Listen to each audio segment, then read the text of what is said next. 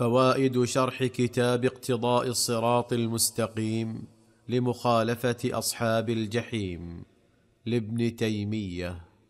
قال رحمه الله فهذا كتاب الله يحمد بعض الأعراب ويذم بعضهم وكذلك فعل بأهل الأمصار. فقال سبحانه وممن حولكم من الأعراب منافقون ومن أهل المدينة مردوا على النفاق لا تعلمهم نحن نعلمهم سنعذبهم مرتين ثم يردون إلى عذاب عظيم. هذا فيه رد على بعض الخرافيين الذين يعتقدون أن السكنى في مكة والمدينة مجرد السكنى ولو لم يعمل الإنسان شيئا أن مجرد السكنى يكفيه وأنه يدخل الجنة بذلك.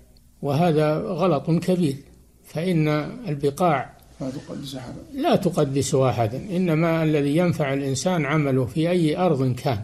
لكن إذا كان مؤمنا وسكن في الحرمين وصلى في المسجدين مع الإيمان بالله عز وجل فهذا لا شك أنه يحصل على فضيلة الصلاة في المسجدين والسكنى في الحرمين مع ما عنده من الإيمان. أما مجرد أن السكنة تكفي كما يظن بعض الخرافيين ولذلك تجدهم ما يصلون الصلوات المفروضة ولا يعملون الأعمال الصالحة ويكتفون بأنهم بجوار الحرمين الشريفين كما يقولون. فهذا فيه رد عليهم قال تعالى ومن أهل المدينة مردوا على النفاق. لا تعلمهم نحن نعلمهم سنعذبهم مرتين ثم يردون إلى عذاب عظيم.